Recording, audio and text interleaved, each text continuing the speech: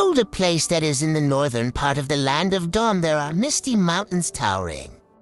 The place is the residence of a mysterious race named Centaur. During their lives, they always guard and protect the waterfall which is located on the highest peak of the mountain. They believe that the waterfall is a gift of life for everyone who wants to drink it. Because of its extraordinary benefits, it is only natural that the waterfall cannot be separated from the target of the invaders who want to control it. One of the colonial efforts came from the Dark Force. However, thanks to the tenacity and strength of the Centaur race, the Dark Forces have never once managed to master the waterfall. Every day, they always guard the waterfall diligently, until in the end, their perseverance began to fade.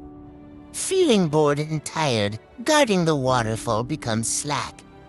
Knowing the centaurs were getting careless, the Dark Force immediately took advantage of the opportunity to fight against the centaurs. With the troops gathered, war was unavoidable. As a result of the war, many lives were lost. The Dark Force troops who had prepared everything managed to dominate the war, until finally the Centaur race decided to retreat and it became a golden opportunity for the Dark Force to have the Water of Life. Arriving there, it turned out that the Dark Force was blocked by a strong and mighty centaur named Hylos.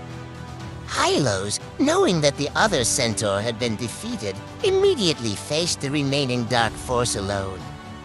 The power of nature he has managed to make the Dark Force experience defeat. The events of the Dark Force attack made the Centaurs aware of the carelessness of those who were negligent in carrying out their duties.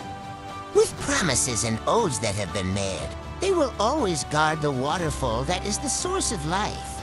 Meanwhile, Hylo's presence made the Dark Force and other invaders not dare to set foot into the mountains.